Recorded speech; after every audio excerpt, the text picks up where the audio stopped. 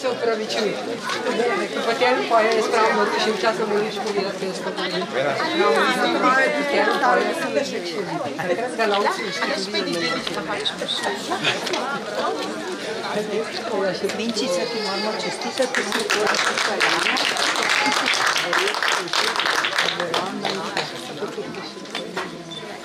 Ja, to so drugi, veš, ki so to še obveščali, so naprave smeri. In sem se mukla postaviti.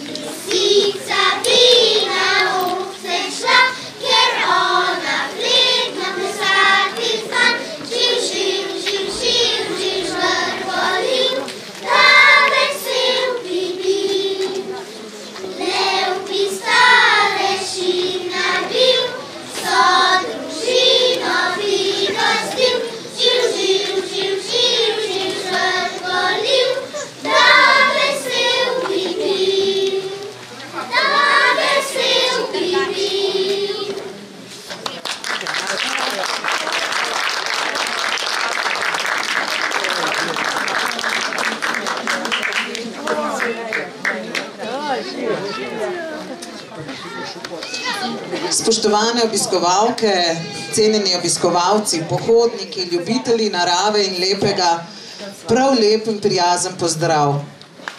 Zakaj je lepota v naših življenjih pomembna? To je tisto, to je prav isto, kot da bi se vprašali, zakaj so v našem življenju pomembni smisel, ljubezen, resnica. Lepota namreč ni nekakšen dodatek, ki sicer življenje oplemeniti, vendar bi z lahkoto živeli tudi brez njega. Ne. Lepota je globoka potreba naše duše, je del naše duhovne in snovne narave in je pot odkrivanja obeh. Vsakdo med nami nosi v sebi to potrebo in vsak zna razločevati med lepim in grdim, ne glede na spreminjajoča se družbena merila. To sposobnost seveda tudi razvijamo. En način, kako razvijati dovzetnost za lepoto, da bi bilo naše življenje čim bolj prežeto z njo, je opazovanje. Dojemanje lepega pa ni mogoče brez občudovanja in čudenja. In narava nam ponuja neskončen vir svojo ustvarjalnostjo. Neskončen vir čudenja. Prepričana sem, da prav vsak izmed nas, ki je danes tu prisoten, obvlada veščino občudovanja, ki je sicer danes v tej družbi hitenja in drvenja potisnjena na stranski tir. Ampak kar občudujem, lahko cenim in spoštujem in negujem. Zato smo se danes mi vsi tukaj zbrani odpravili od doma, da bi si brez slabe vesti privoščili gromozansko porcijo lepote. Tukaj, na tem majhnem kotičku našega planeta, je ogromno priložnosti za čudenje. Tako na površju, kot tudi nekaj metrov pod površjem v čudežnem svetu brez sonca. Člani turističnega in okoljskega društva Županova jama menimo, da je prav ta kotiček res nekaj posebnega. Zato si želimo, da bi zanj izvedelo čim več obiskovalcev, čim več občudovalcev. Z ureditvijo okolice in objekta želimo izkazati naše navdušenje nad temi lepotami in vsem obiskovalcem omogočiti prijetno počutje tukaj. Kaj vse se je v zadnjem času, v zadnjem mesecu premaknilo, spremenilo in zakaj, nam bo povedal predsednik društva Damjan Viršek.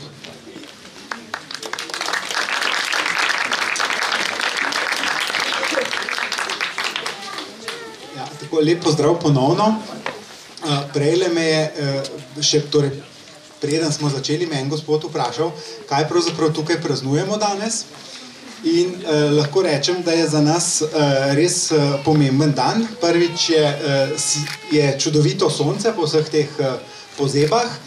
In eh, prva stvar, ki je, je eh, 12. pohod po, po odseku eh, poti E6 in grosupelske poti od Grosuple do Županove jame, ki je letos izjemno dobro obiskovan. Tako da eh, pohvala pohodnikom, ki ste pogumno eh, pri, pripešačili do sem in seveda organizatorkama Minki in Andreji Grablovic, ki sta vaju spremljale.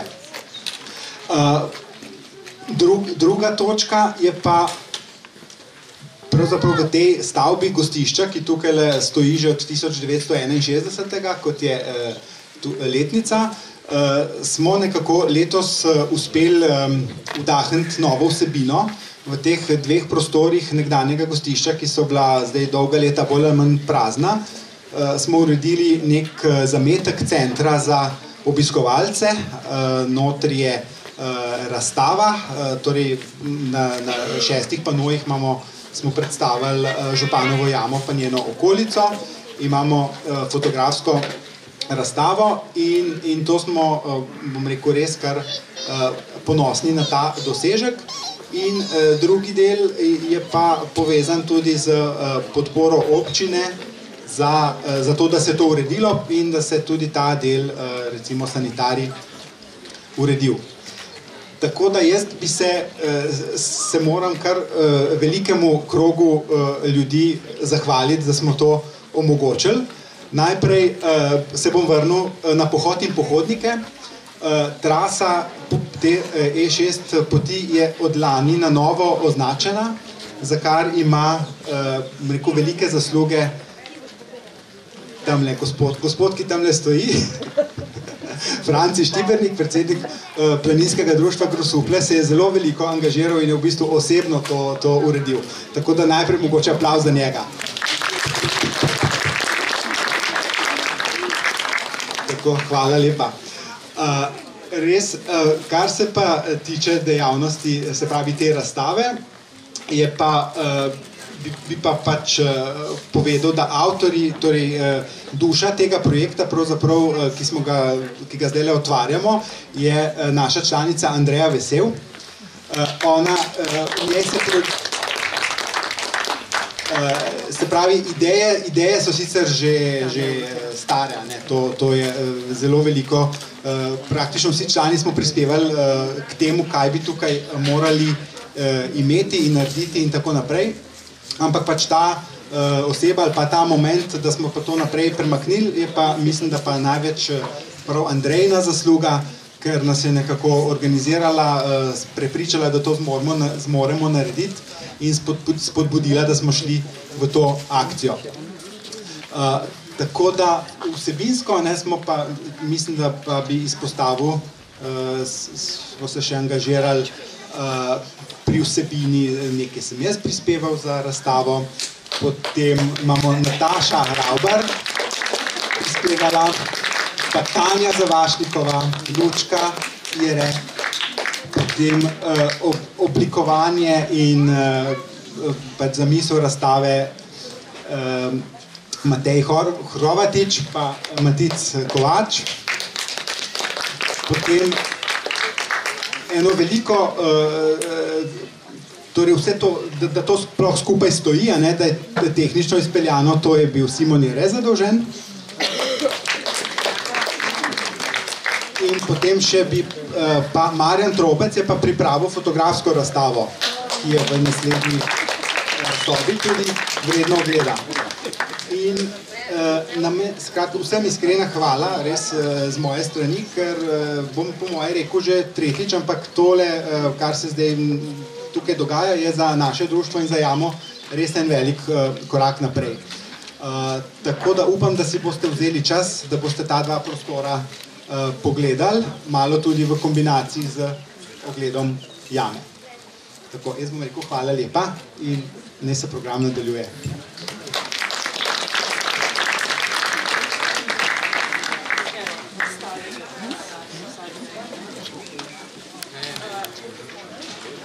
Damjan je naštel veliko imen, jaz mislim, da je prav, da pridejo semle in da se pokažejo. Um, predvsem pa uh, ta prva in ta glavna Andreja Vesel, ki uh, bo tudi nekaj napotkov dala vsem, ki se želijo uh, kakšno akcijo speljati.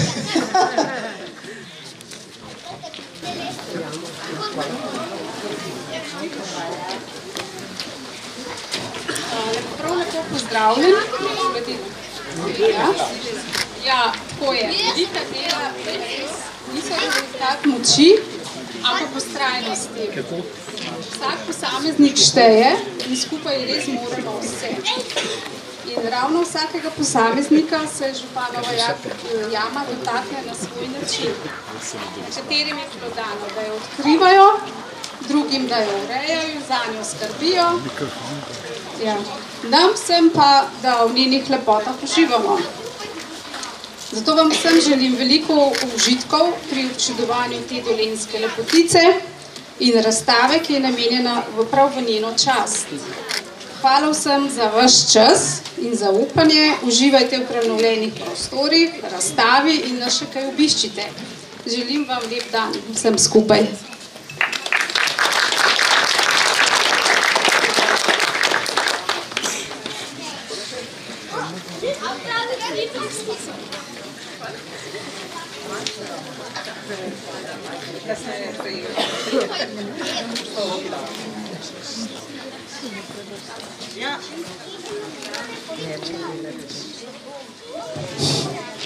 Mali princ nas uči, da kdor zna gledati s srcem, lepoto vidi povsod in v vsakomur.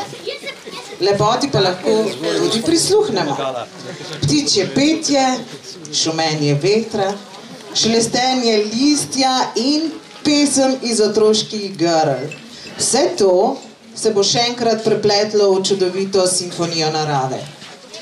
Šolski pevski zbor osnovne šole Luisa Adamiča, Adamčki, Cici Bančki, ja, uh, pod mentor, mentorstvom Andreje uh, Bolkovič so nas že prav na začetku upeljali v tole slovesnost.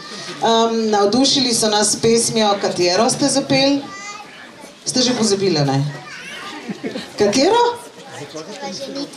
Zajčkova ženitev. Hmm.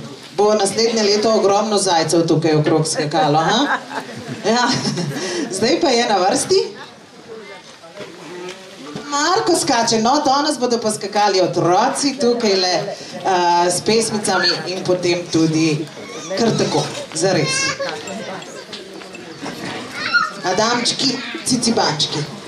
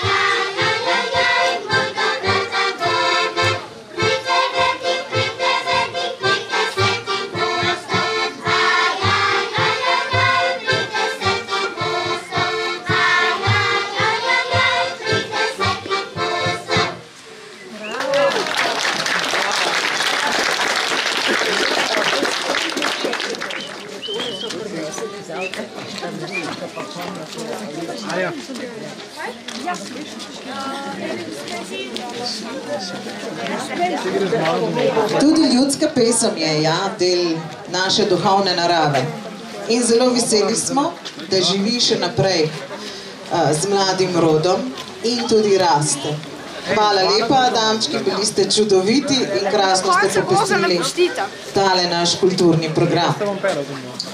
Del snovne narave pa je že bil omenjen oziroma pa je predstavljen in izpostavljen na že omenjeni razstavi.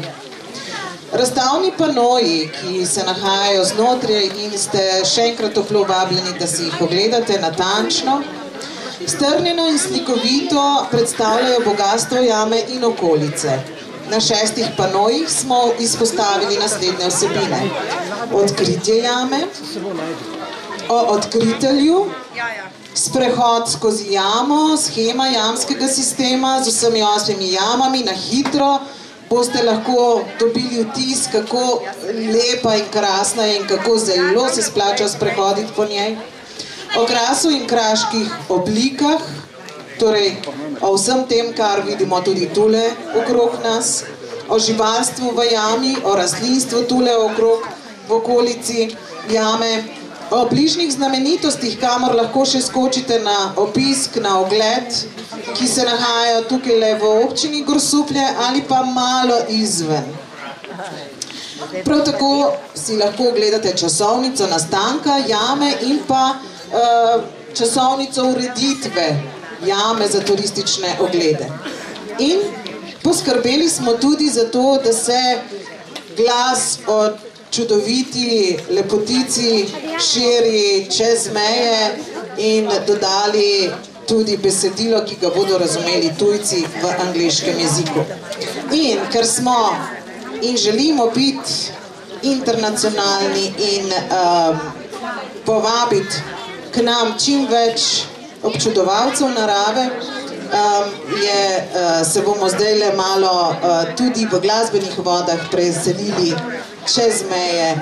Urban Šifrer nam bo zaigral malo džeza, zato da bomo uh, bolj živahno tole uh, dopoldne uh, od, oddelali. Nekateri ste ga že zelo, zelo, nekateri nas, nekatera nas pa še čaka. Uh, samo um, Urban eh, hodi v glasbeno šolo, uh, Grosuplje in njegov mentor je samo Perko in zaigral nam bo um, dve angliški. On the sunny side of the street in Mug the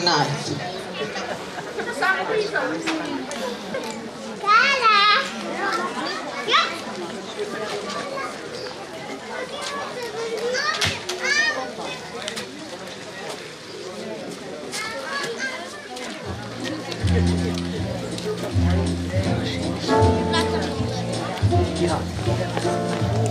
Thank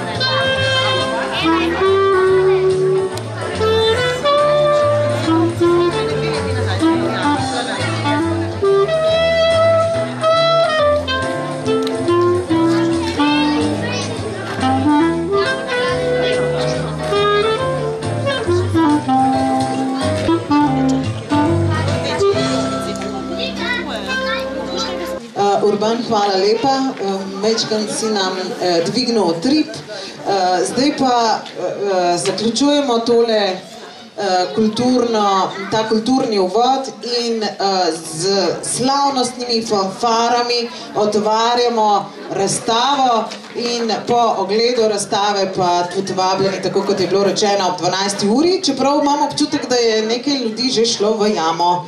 Tako da uh, slavnostna otvoritev, ki jo bodo slišali tudi oni v jami, a ne Gašper.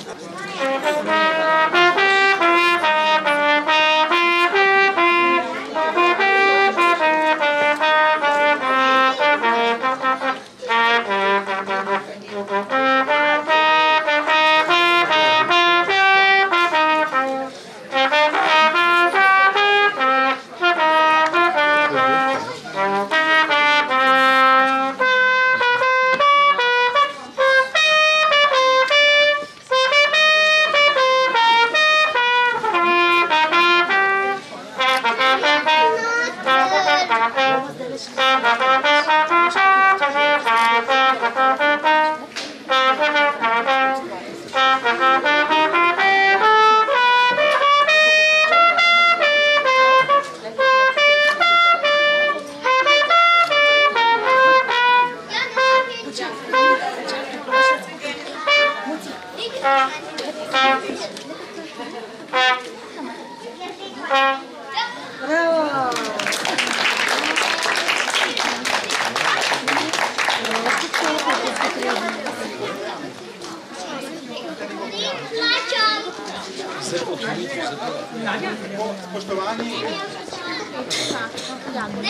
spoštovani, se pravi, zdaj ob, ob, dve- ob, vsi vabljeni na ogled razstave, ob 12. je pa zdaj prvi termin za ogled jame in tudi v jami bo glasbeno presenečenje.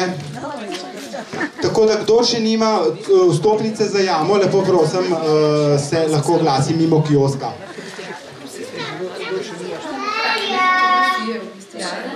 imamo, ne, zelo pač tako spočupa. Tukaj imaš pač malo zgodovine, si pogledaš, zdaj pa časovnica, pač pomembnih uh, datumov, ne, poletnica, kaj se je kaj dogajalo, kdaj se je kaj otvorilo, na kakšne vrste, kako pač voda pravnica. Pač si moraš prebrati. Desna stran tega uh, panoja je vedno v angliščini prevedena, ne, tako pač to tako še za, za tuje, ta je pa Pa jamo urejala je pa ta časovnica, ne, se pravi, kako je že Va- Valvazor je bil prvi, ki je omenil ledenico, se pravi, on ni omenil ledenice z imenom, ampak je rekel jama pri Lačenbergu. Lačenberg so identificirali, da se nanaša na tabor in oni o tej jami poročajo glede poleti let. In to je edina jama daleč okoli, ki, je, ki tudi pozna pomlad malce in zato se pač to treba, da je to tam. In potem naprej odkritje in urejanje in vse take stvari, in potem se to vleče na, na naslednjega. Ne? In tukaj pa spravimo pa za odkritja, eh, je pa pravzaprav predstavitev jame. Tako da, da si obiskovalec, da si lažje predstavljaš, če smo zdaj tukaj, a ne? pa potem, ko greš skozi jamo, a ne? tukaj imaš lepo vse, eh, ledenica, umetni prehod, Permetova dvorana, velika dvorana in tako. In takole nekako te glavne znamenitosti, ki jih lahko povežeš.